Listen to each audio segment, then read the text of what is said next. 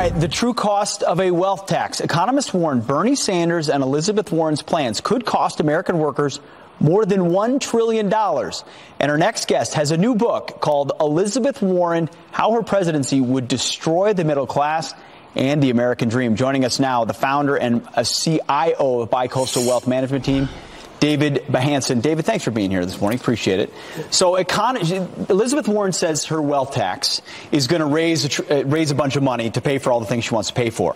Turns out the economists estimate that it will it will it will increase lost earnings over 10 years by a trillion dollars. Yes. Which one, who's right? Well, the economists are right, and this includes leftist economists. I mean, Larry Summers was Bill Clinton's Treasury Secretary, was a senior Obama economic advisor. He's written big op-eds saying this is a total dud. It will raise less than 15% of what they say it'll raise. But then the money it loses over time is from how much productive capital gets taken out of the system and put into unproductive capital. It was a failure in Denmark and Sweden Sweden and France. It's so funny how liberals are always telling us, look at what's going on in yeah. Sweden. Let's do that. And yet with the wealth tax, Sanders and Warren are doubling down on what's been a failure everywhere. But the, but but the talking point works for them right now in a far left primary. Take from the wealthy yeah. and use it to pay for other things. Yeah. Does that real does the reality you're talking about ever connect with the American people's perception of it? Oh, I, I think that there is enough class envy and enough covetousness in our society that people love the idea of taking money from people that have more than they have. That doesn't make it right, yeah. and it certainly doesn't make it American. However, the reality is that we all know people that maybe got lucky in life and were born into a good family. That's not what this is about. And even them, I don't think you should just confiscate wealth from yeah, people. Of course. The issue is that this is a tax on wealth producing activities. We all need wealth producing activities. The people who are hurt most when you tax wealth producing activities are the middle class. Absolutely. And so that's what this tax is going after, and it's a real disaster. Now, David, you wrote the book literally on Elizabeth Warren yeah. and, and why her presidency would destroy the middle class. Uh, explain your argument.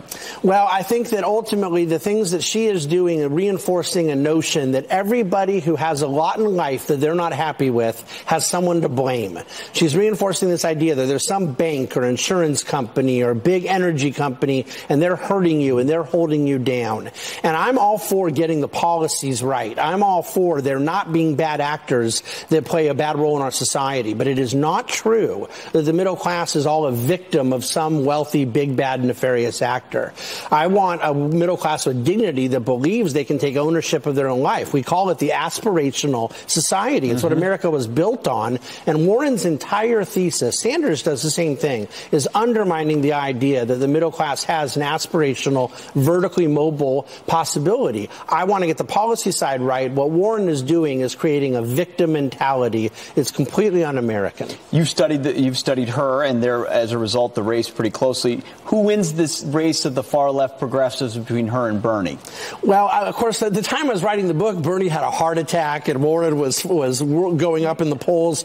Uh, Sanders has a lot more momentum right now. I think that uh, Buttigieg really hurt uh, Warren because he caught her in this sort of hypocrisy around are you going to raise taxes or not? Yeah. Bernie just admits he's going to do it. yeah. Warren's had to go back and forth a little bit. Uh, but right now, I think that Warren is the more electable candidate than Sanders in a general election because she's willing to lie. She's willing to say she's a socialist who calls herself a capitalist. Sure. Bernie's a socialist who calls himself a socialist. We do not like socialism in our country, and we certainly don't like admitting yet. it. Yeah.